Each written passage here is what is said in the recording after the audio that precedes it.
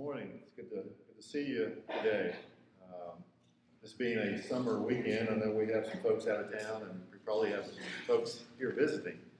And it's good to have you here. And if you're from the community, we're really excited to see you here. We just hope you'll come back at any opportunity you have.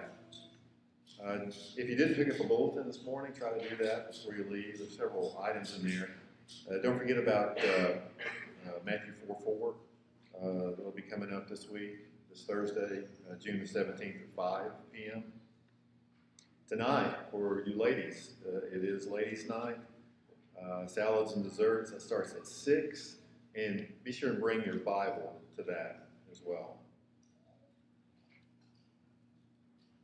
Uh, the, uh, Vacation Bible School will be uh, July the 11th through the 14th. There's a note about t-shirts.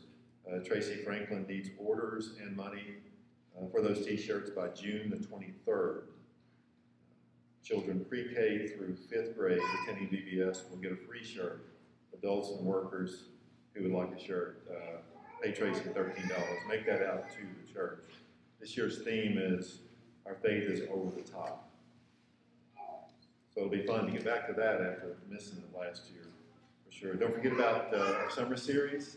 Uh, this week will be Josh Parnell. He's been here several times and always does a great job uh, when he comes to, to speak.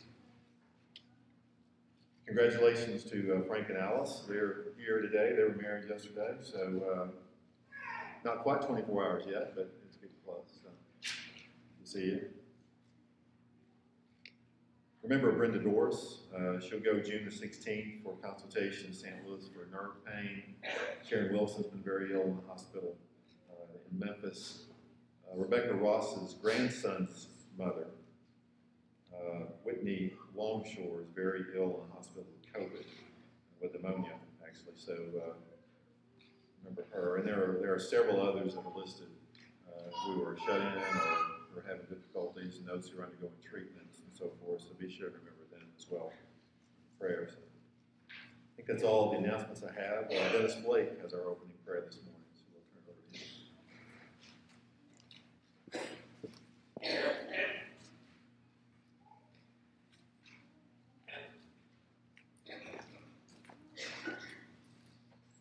pray together. Our dear Heavenly Father, we are so thankful that you allowed us to be here this morning. We're thankful for you today, for the blessings of health that we enjoy, for all the blessings of this life that we enjoy, but especially for the spiritual blessings you've given us through your Son, Jesus. And it's for that reason that we've gathered today. Father, we pray that you be with those who've been mentioned who are ill.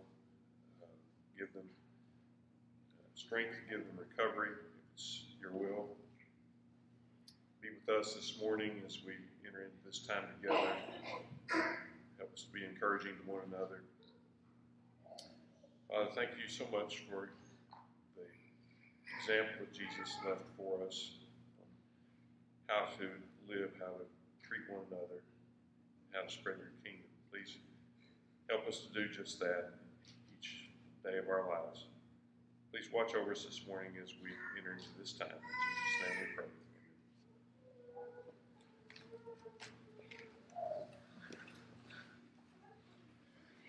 The Lord's my shepherd, I'll not want. He makes me down to lie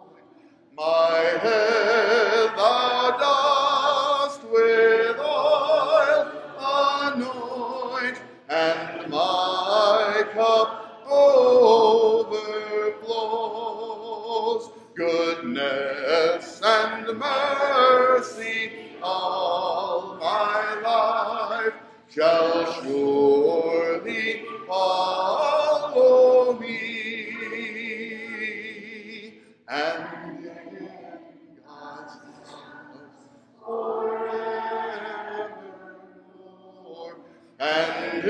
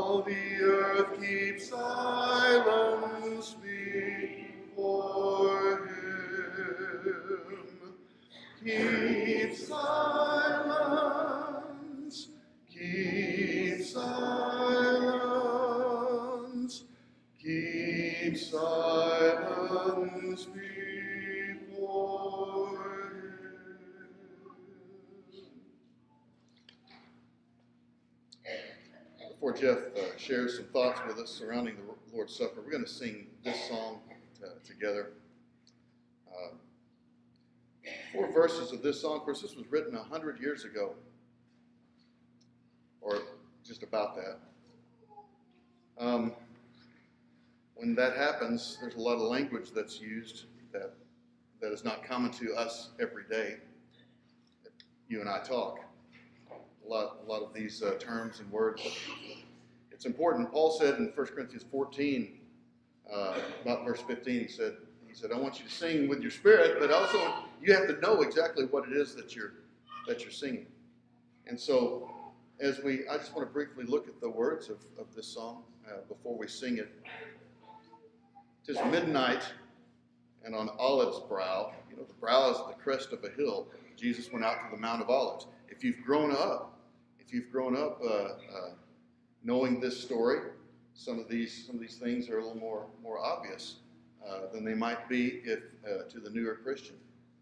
Uh, he went to the Mount of Olives, and so he's, he's on the um, on the Mount of Olives, Olive's brow. The star is dimmed that lately shone. What's that all about? That's a poetic way, I believe, the author is saying uh, that uh, the brightness of Christ. If there was ever a time it was dark in his life, it was at this moment when he when he when he was praying in the garden. And this is a word picture of, of that episode. Tis midnight in the garden now, the suffering Savior prays alone. Verse 2 Tis midnight and from all removed. He left his disciples and he went a stone's throw away and fell down to pray. So when we sing, He was from all removed. That, that, and when I was a kid, that was always an interesting uh, passage to me until I thought about it that way. The Savior wrestles lone with fears. Even that disciple whom he loved, who's that? It's going to be John. Peter, James, and John. John was the disciple that, that Jesus loved. Even, even his best, maybe the one he was closest to, if we had to say, from what the information that we have, uh, he was falling asleep. He was falling asleep when Jesus was at his having his worst time and his biggest struggle ever. Even that disciple didn't hear his master's grief and tears. Verse 3 It is midnight, and for others' guilt, the man of sorrows weeps in blood. We'll continue. Yet he that has an anguish knelt is not forsaken by his God. That, that verse is fairly self explanatory. And look at verse 4. Tis midnight, and from ether plains is born the song that angels know. Ether plains. Ether plains was uh, uh, during the time that this was written was uh, there was a great discussion about things that were going on a, on an earthly plane, and then what about the heavenly the, the heavenly plane? And that's that's what that's what this has has reference to. Ether planes. It's not a biblical term that I'm aware of, and yet think about what was going on on a spiritual level with Jesus and his Father at the time that he's, he's praying this. And, and the author is poetically pointing out something's going on there. From ether plains is born the song that angels know. There was some interaction going on that even we, we try to weakly understand, but we can't really understand the depth of what was going on between Jesus and his Father. Unheard by mortals are the strains that sweetly soothe the Savior's will. Whatever that communication was, God took care of his Son and supported him during that time and, uh, and ministered to him, as we know from Scripture. We'll sing this and uh, enter into our time of Lord's Supper. Tis midnight and on olives brow the star is dim that lately shone. Tis midnight in the garden,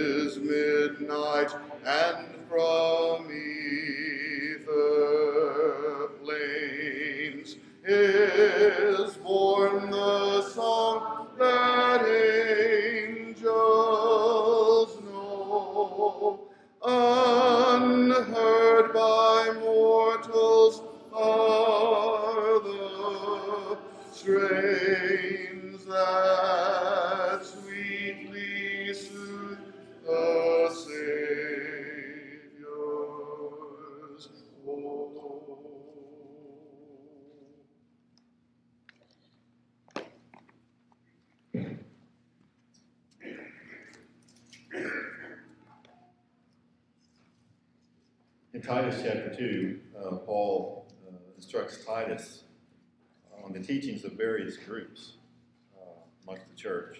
What to teach the older men, what to teach the, the older women, uh, how the older women should be examples to the, the younger women. so, how, how each of us teach one another in a sense. Also, what to teach the younger men. And as the older men are exemplifying this through their lives, and that's being taught to those who observe it. As the older women are exemplifying these teachings in their lives, and the younger women learn, uh, and so forth. So uh, we truly do teach one another, not just by word, but uh, maybe much more so uh, in many ways. Uh, on how we actually are living. Paul really makes this a point uh, when he talks about in verse 9 uh, what to teach slaves. Uh, he tells them to be subject to their masters, not to steal, but to show that they can be fully trusted. For this reason, he says, so that in every way they will make the teaching about God, our Savior, attractive. You ever thought about how you live out your Christian life and how I live out my Christian life in terms of its attractiveness to people uh, and how we can attract Jesus to Jesus uh, to, uh, to Jesus' teaching, or we can maybe turn them away just simply on how we live, no matter how much we might know, uh, but by the example that we set uh, from day to day. And then he talks about grace. Um, grace is something we talk about a lot. You know, the unmerited favor. It's that, that gift that we receive when we don't deserve it. We don't. We haven't earned it. Uh, it's something that that's uh, received through the cross. You know, the cross is where grace begins with Jesus there uh, and dying on the cross. But in verse 11, he says, "For the grace of God that brings salvation has appeared to all men." It teaches us to say no to ungodliness and worldly passions, and to live self-controlled, upright, and godly lives in this present age. Grace teaches us something. Grace teaches us how we should live. As we reflect this morning, each, each first day of the week, uh, there's probably no more powerful morning or powerful time during the week uh, than when congregations get together and focus on the cross, focus on Jesus, focus on what great gift we receive because of, of the death of, of Christ on the cross and, of course, his resurrection. But he says, because of this grace, this should help us. This should make it more attractive for us. This should teach us to live in the way that God um, has planned for us to live.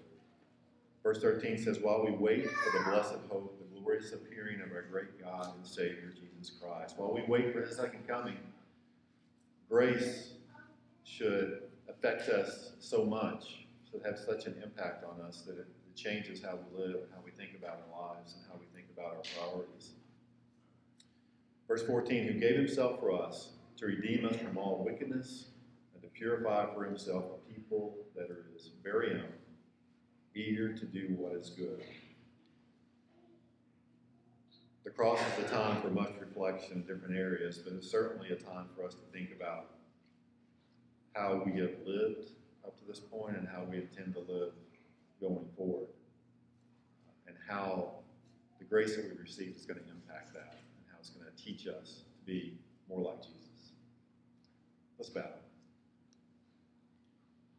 Father, we're thankful for this time, and we're thankful for this, uh, this very moment that we can consider your Son and, and, recognize what he's done for us and the death that he died. Father, we're thankful for the grace that's extended through that death and through his resurrection, Father, and we're so thankful that we can, that we can remember that uh, from week to week, but certainly we can remember that every day, Father, as we live and, help us to live our lives so showing thankfulness, showing grace to one another, and recognizing that we are uh, ambassadors and that we are teaching others uh, as we live. And Father, we're thankful for the great example that Jesus provided with that. We take it as bread that represents His body. We pray that we do so in a pleasing way. In Jesus' name, amen.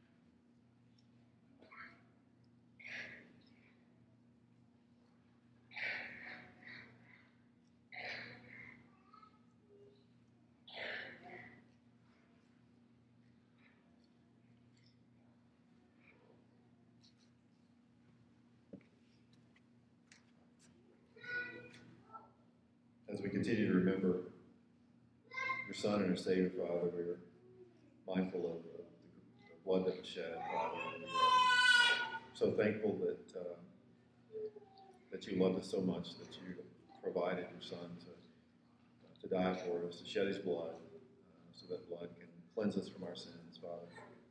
Thank you for the cup of us, Terry. In Jesus' name, amen.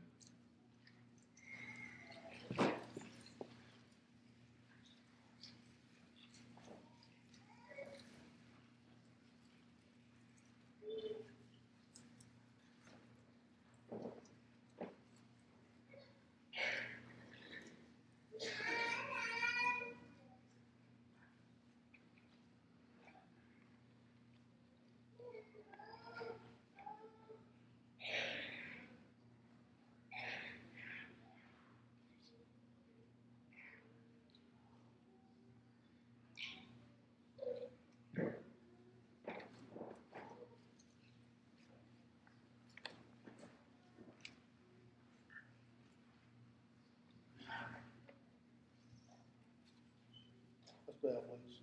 Dear Heavenly Father, we're so thankful for all the blessings, lives you've allowed us to enjoy. Now it's time to give part give back part of what Thou hast given us. Let us do so in a way that pleases and pleases pray in Christ's name.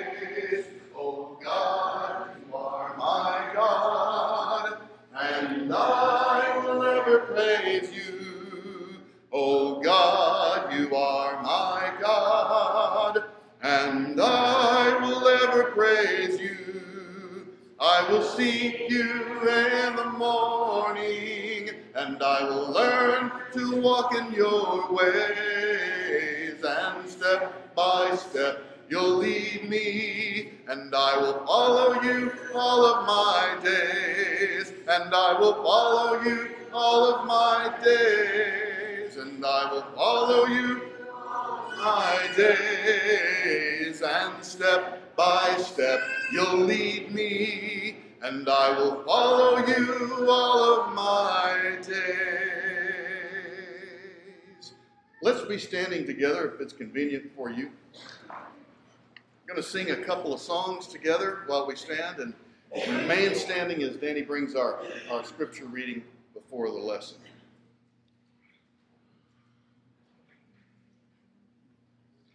I'm in the way, the bright and shining way. I'm in the glory land way. Telling the world that Jesus saves today. Yes, I'm in the glory land way. Land way. I'm in the glory land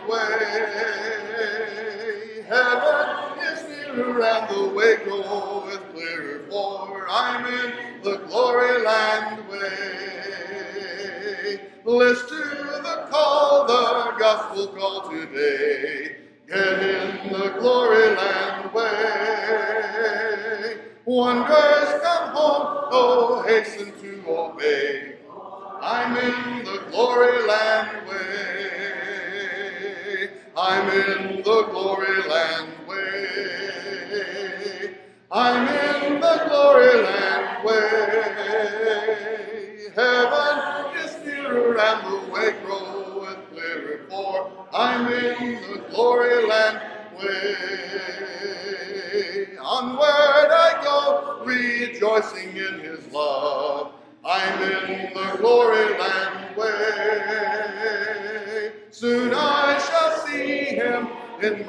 above. Oh, I'm in the glory land way. I'm in the glory land way. I'm in the glory land way. Heaven is here and the way groweth clearer, for I'm in the glory land way.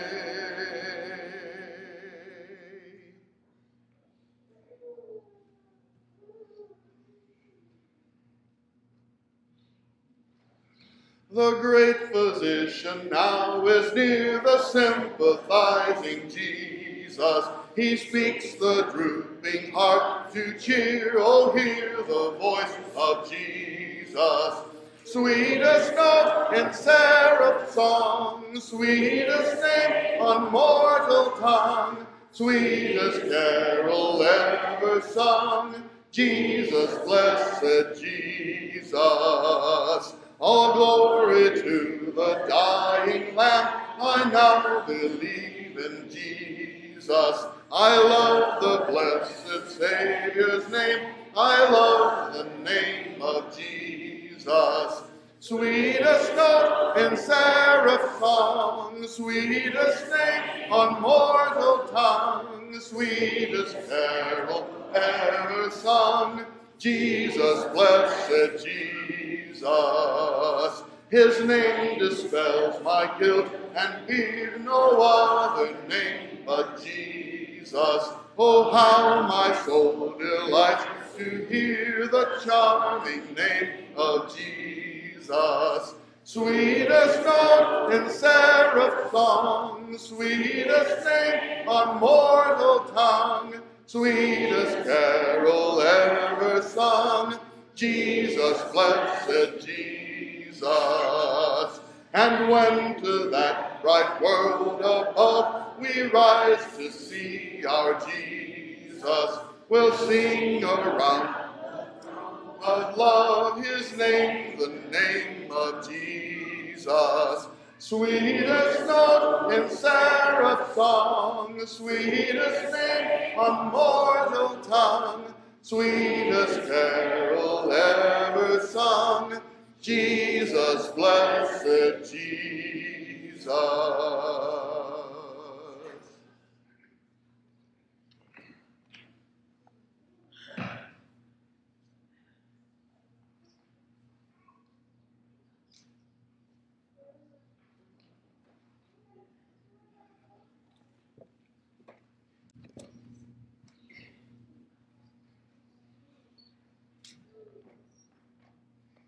Sorry. Okay, we'll be uh, reading out of Second Samuel uh, 13, uh, 37 uh, through 39. Okay. But Ab- Absalom fled and went to Tamal, the son of Amon, king of Geshur. And David mourned for his son day after day.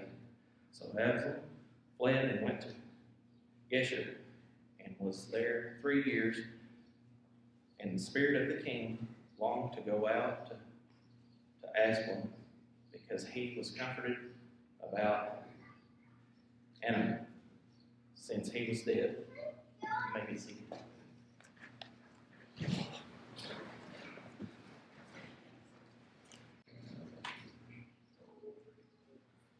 Good morning.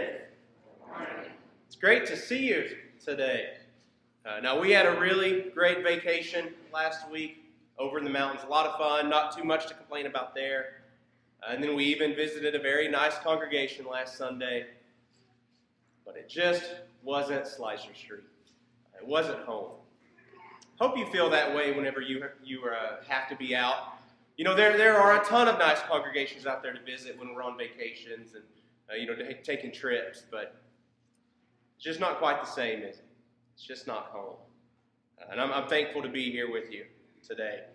Uh, 2 Samuel 13, we're actually going to be going through chapter 18, so a pretty long uh, section to cover here today, just hitting some high points.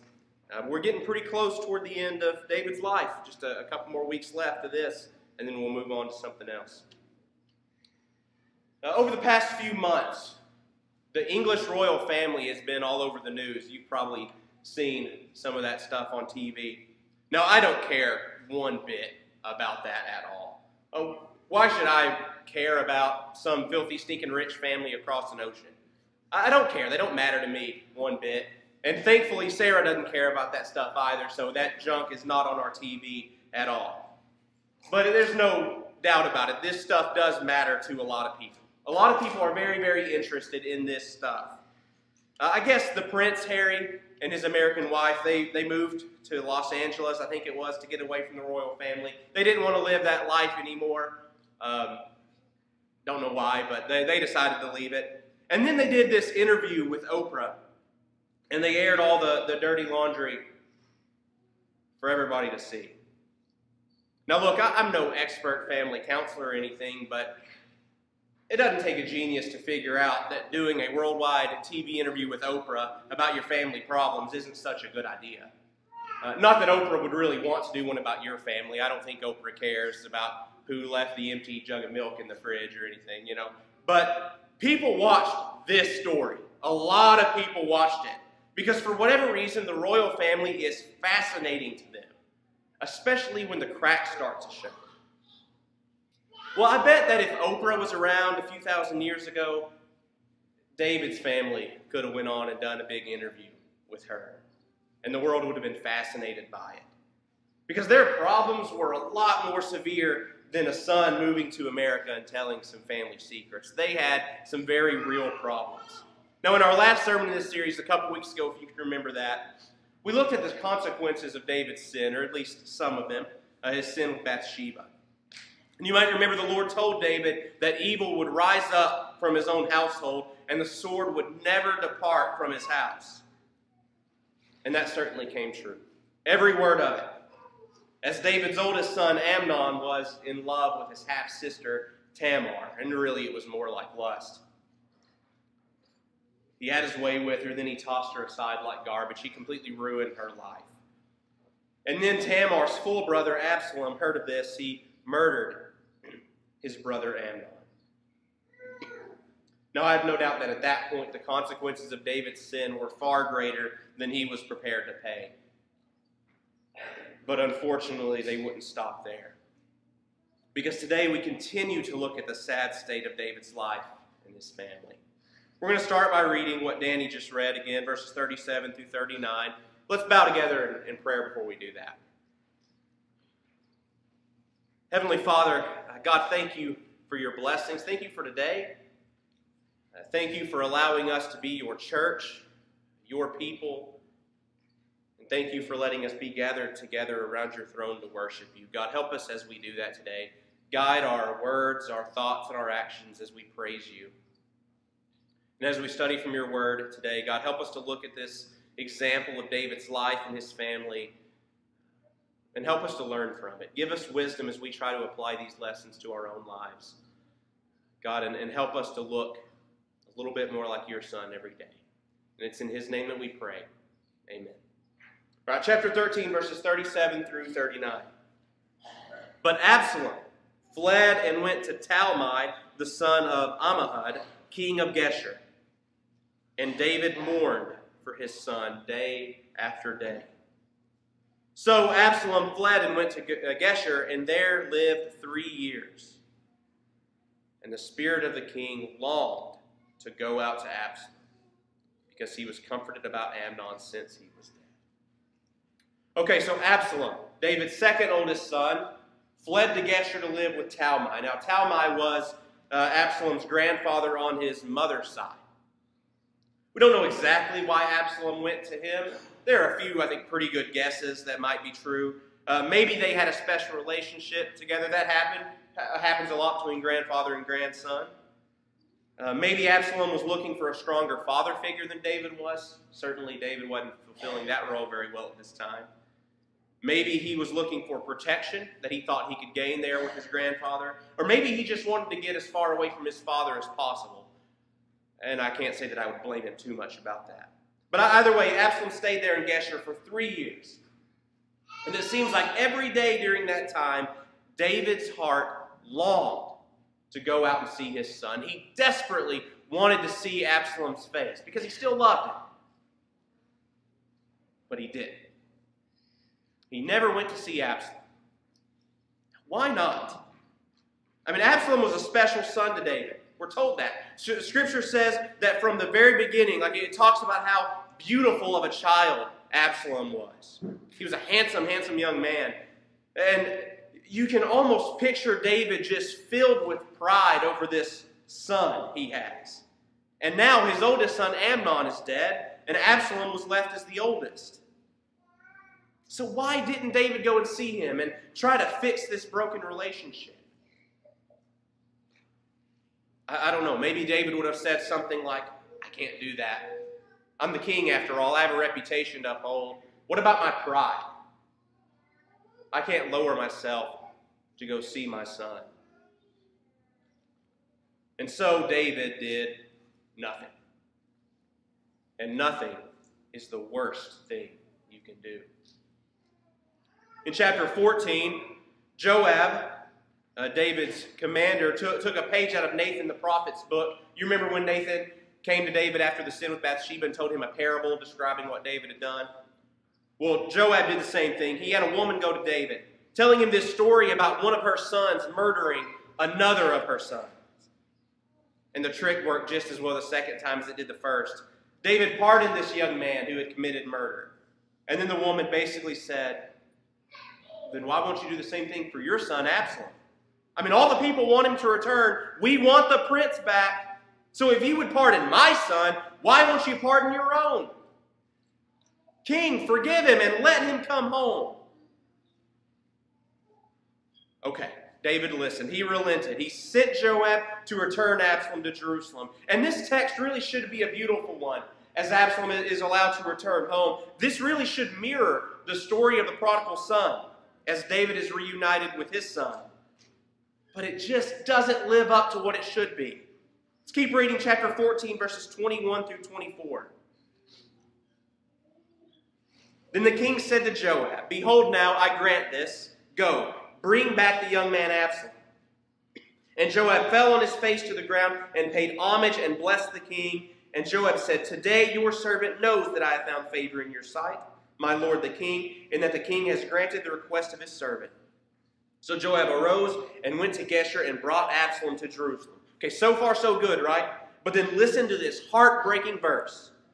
Verse 24 And the king said, Let him dwell apart in his own house. He is not to come into my presence. So Absalom lived apart in his own house and did not come into the king's presence. How tragic is that verse? That is so sad. I mean, this was David's son. David's son that he had been proud of from day one. Y- yes, he had done wrong, no doubt about that, but this was his son. And David's spirit longed to see Absalom. He, he wanted this from the depths of his soul, but David wouldn't even allow him in the palace. The father of the prodigal son waited on the horizon for his son. He waited with arms wide open and ran out and embraced him when he saw him.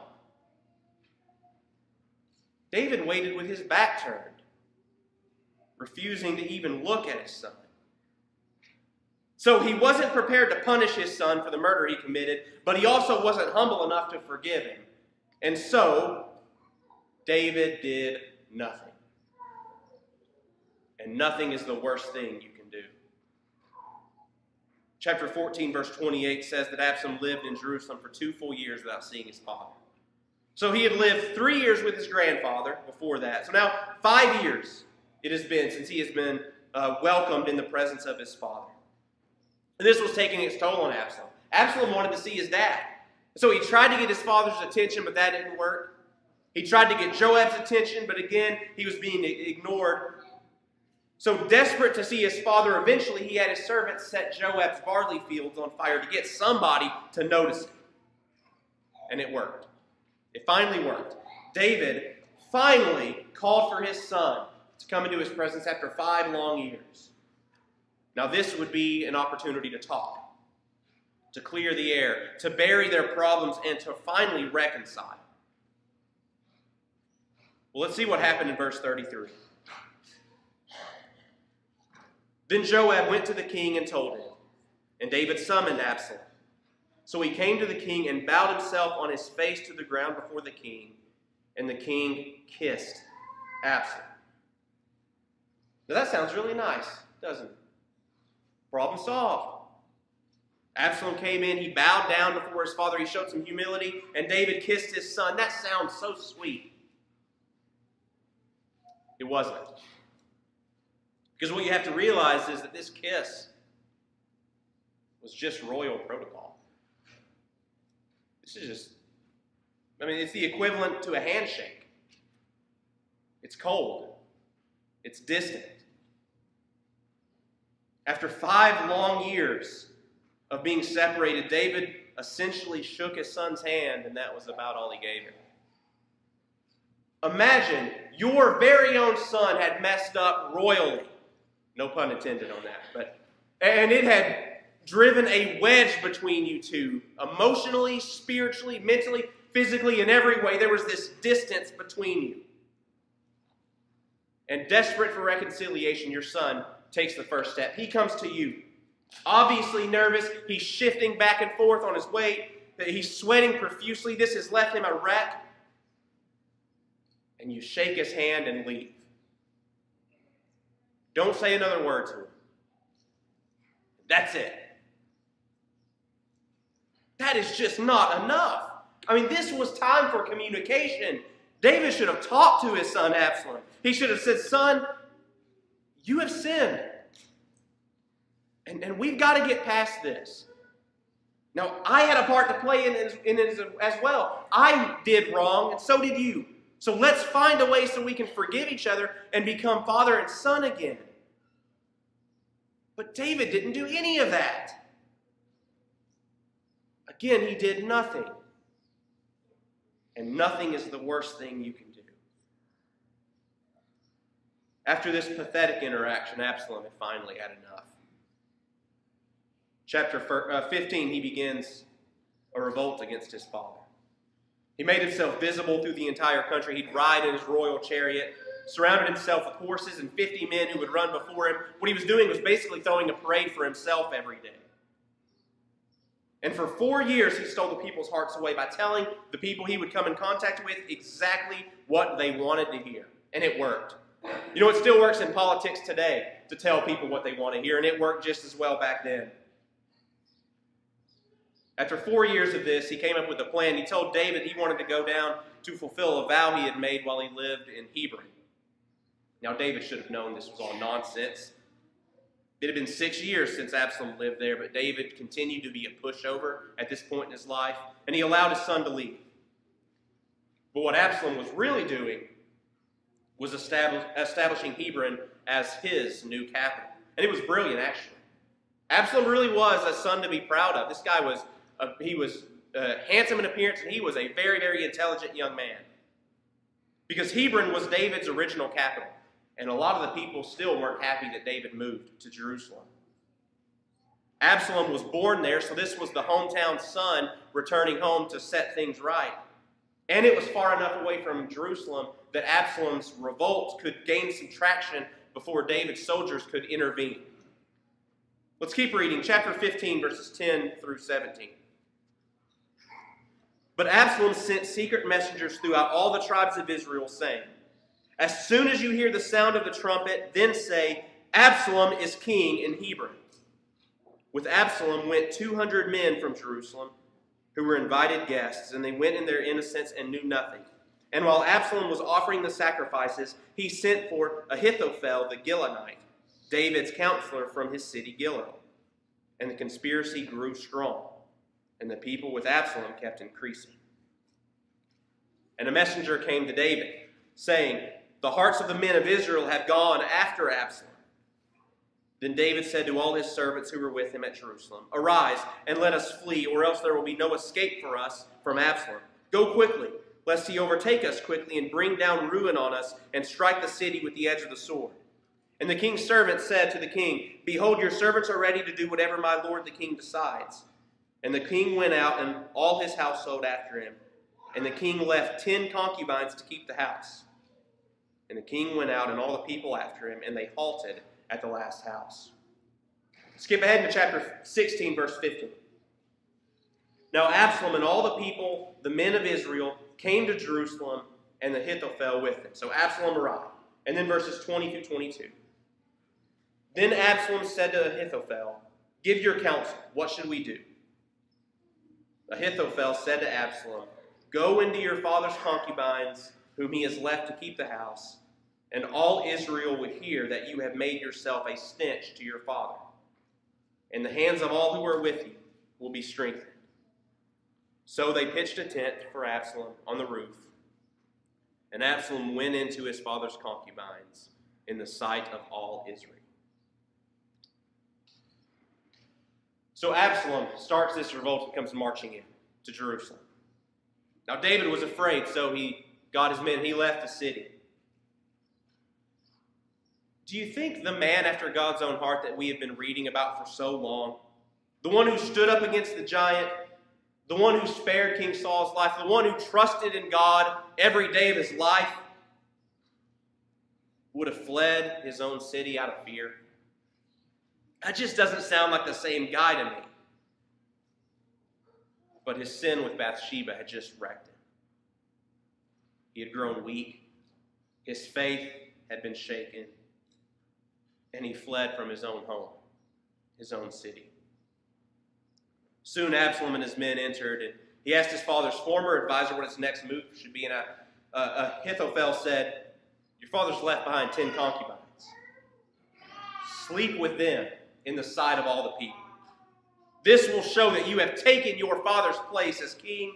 It'll show you're not afraid of him, and it'll show that all ties between you two have been broken. So they pitched a tent on the roof of the palace, and the deed was done. It's ironic, it's the same roof where all this mess had started as David watched Bathsheba bathe. You remember what God said to David back in chapter 12? Thus says the Lord Behold, I will raise up evil against you out of your own house, and I will take your wives before your eyes and give them to your neighbor, and he shall lie with your wives in the sight of the sun. For you did it secretly, but I will do this thing before all Israel and before the sun. Everything, every single thing had happened just as God had said it would.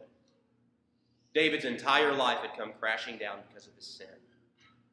Now, this must have seemed like the lowest point for David. Maybe he was thinking, well, at least it can't get any worse. Yes, it could. David had one more thing to lose in chapter 18. Verse 1 Then David mustered the men who were with him and set over them commanders of thousands and commanders of hundreds. So David was finally prepared to go to war against his own son. And then verses 6 through 15. So the army went out into the field against Israel. When it says Israel, that's Absalom's men. And the battle was fought in the forest of Ephraim. And the men of Israel were defeated there by the servants of David. And the loss there was great on that day 20,000 men. The battle spread over the face of all the country, and the forest devoured more people that day than the sword. And Absalom happened to meet the servants of David. Absalom was riding on his mule and the mule went under the thick branches of a great oak. And his head caught fast in the oak, and he was suspended between heaven and earth, while the mule that was under him went on. And a certain man saw it and told Joab, Behold, I saw Absalom hanging in an oak. And Joab said to the man who had told him, What, you saw him? Why then did you not strike him there to the ground? I would have uh, been glad to give you ten pieces of silver and a belt. But the man said to Joab, even if I felt in my hand the weight of a thousand pieces of silver, I would not reach out my hand against the king's son. For in our hearing the king commanded you and Abishai and Ittai, he said, For my sake, protect the young man Absalom. On the other hand, if I had dealt treacherously against his life, and there is nothing hidden from the king, then you yourself would have stood aloof. And Joab said, I will not waste time like this with you. And he took three javelins in his hand and thrust them into the heart of Absalom while he was still alive in the oak. And ten young men, Joab's armor bearers, surrounded Absalom and struck him and killed him. So, Absalom, David's pride and joy, became trapped in the tree. This beautiful hair that had been uh, that had been su- such a pride to him became his undoing. Joab, David's commander, finally found Absalom hanging there defenseless, but there was a problem. You see, David had commanded them to protect him. Again, before David's sin with Bathsheba, there is no way that Joab would have disobeyed David's orders. But things were different now. David was different. And so Joab thrust three spears into Absalom's heart, and he commanded his armor bearers to do the same. The king's oldest son was dead. Now, Absalom had been a problem. He had caused nothing but heartache for David for years now, but he was still David's son. And then we see this, the very end of chapter 18, our final passage for today. Verse 31 through 33. And behold, the Cushite came, and the Cushite said, Good news for my lord the king. For the Lord has delivered you this day from the hand of all who rose up against you. The king said to the Cushite, Is it well with the young man Absalom? David was still concerned about his son. And the Cushite answered, May the enemies of my lord the king and all who rise up against you for evil be like that young man. And the king was deeply moved and went up to the chamber over the gate and wept. And this has got to be one of the saddest statements in all of Scripture. And as he went, he said, Oh, my son Absalom, my son, my son Absalom, would I had died instead of you.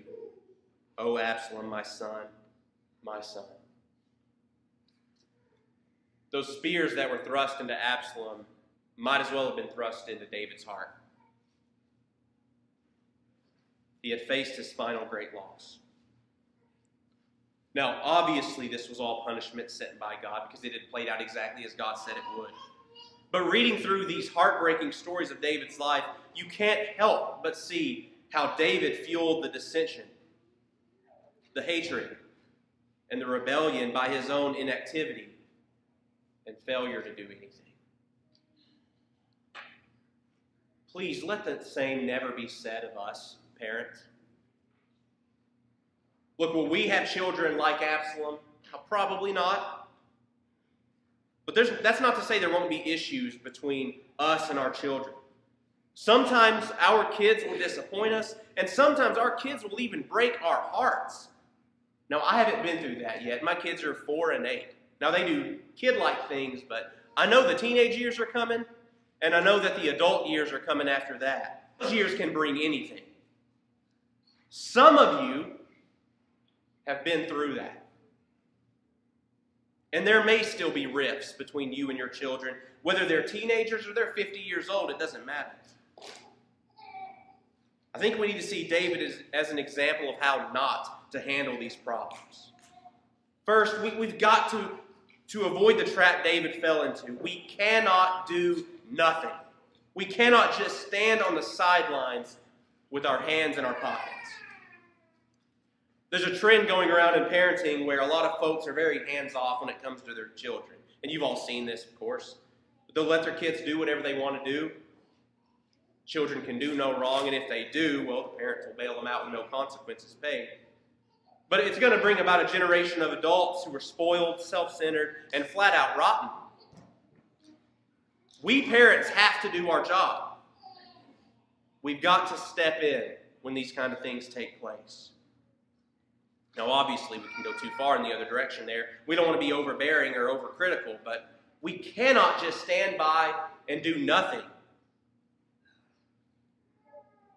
David watched as Absalom killed his brother, and David did nothing. Absalom went to live with his grandfather. David so longed to see him, but David did nothing. David allowed Absalom to return, return to Jerusalem, but he refused to see him. David did nothing. And he eventually met with him, but only gave him the equivalent of a handshake. And David did nothing. And it was the worst thing he could have possibly done. What if David had intervened at the very beginning? What if he had got involved in Absalom's life? Would things have turned out differently? I don't know, but maybe.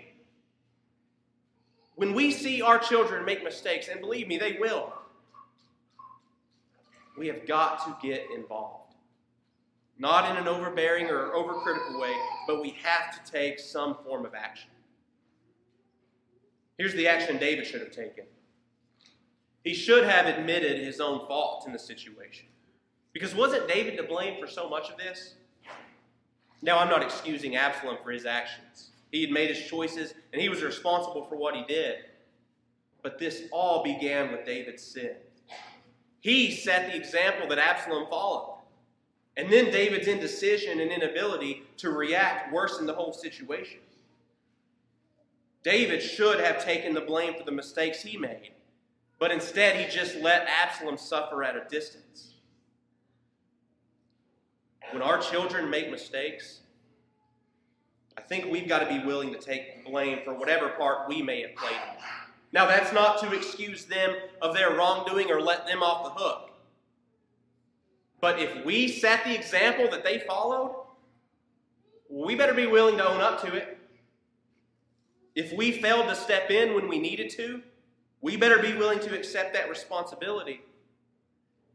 And if we failed to give them whatever support they needed, we better be willing to take that blame. Don't have so much pride that you can't apologize to your own children if they deserve it.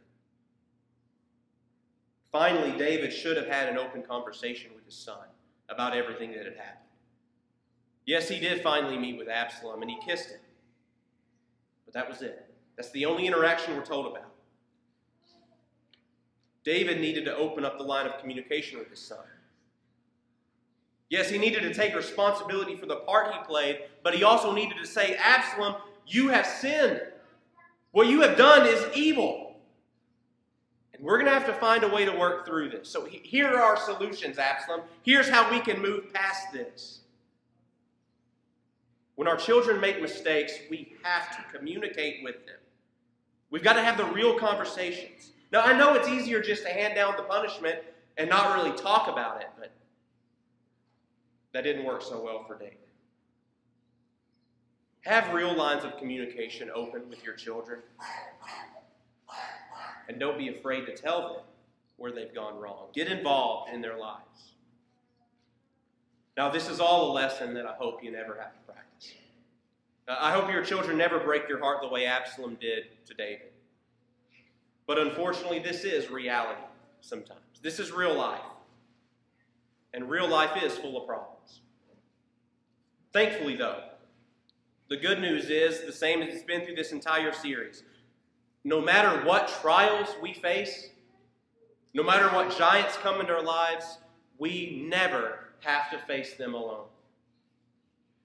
Whether it's a problem that is thrust upon us, whether it's one of our own making, or even if it comes from our own children,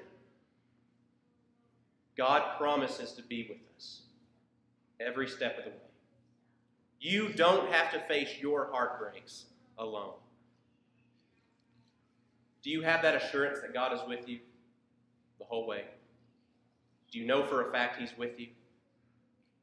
Have you responded to His offer of grace so that you can have God alive in your life? If you need to do that for the first time today, by being united with Christ in baptism, or you need to, to respond to Him for the thousandth time through repentance. Today, if you have a need, please, won't you come forward as we stand and we sing? There's not a friend like the lowly Jesus. No, not one. No, not one. None else could heal all our soul's diseases. No, not one. No, not one. Jesus knows all about our struggles. He will guide till the day is done. There's not a friend like the lowly Jesus. No, not one. No, not. Friend like him is so high and holy. No, not one. No, not one. And yet no friend is so meek and lowly. No, not one. No, not one.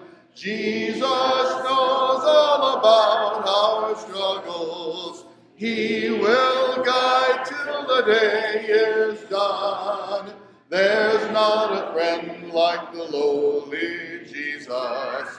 No, not one. No, not one. There's not an hour that he is not near us. No, not one. No, not one. No night so dark, but his love can cheer us. No, not one.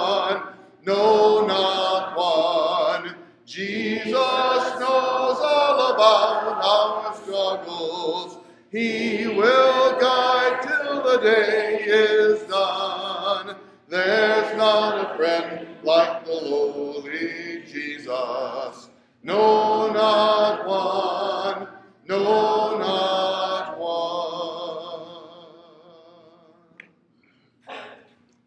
Great to be together today. We're going to sing number 290, Shine, Jesus, Shine. We'll sing this and have our dismissal prayer. Have a blessed week, everybody.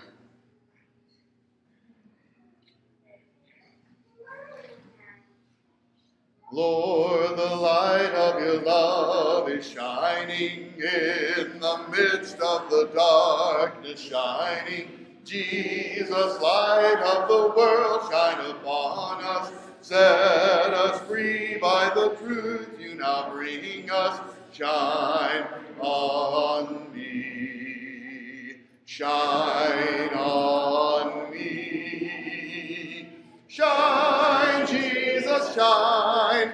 Fill this land with the Father's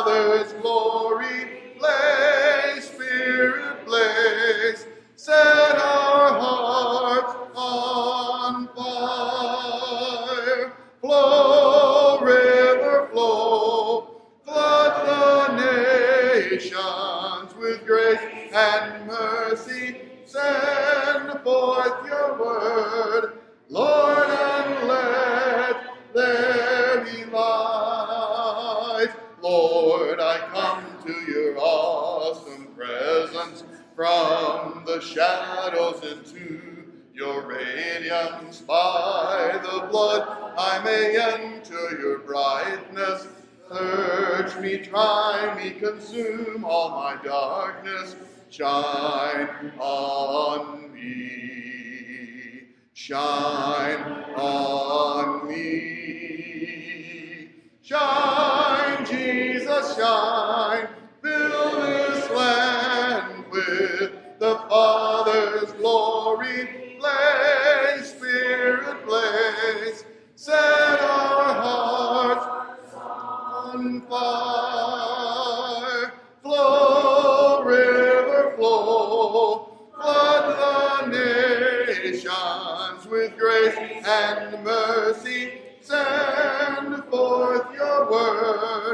Lord, and let there be light.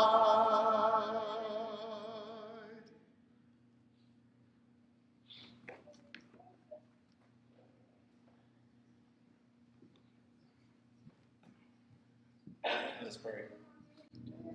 God, we thank you for letting us be here today to gather and sing and worship your word, your name, and more on your word. And God, we ask you please be with the sick that's been mentioned this morning. Please help them get back to health, and please be with us this week as we go about our day and we take your word with us. God, thank you for letting your son down the cross for us for us. In Christ's name, I pray.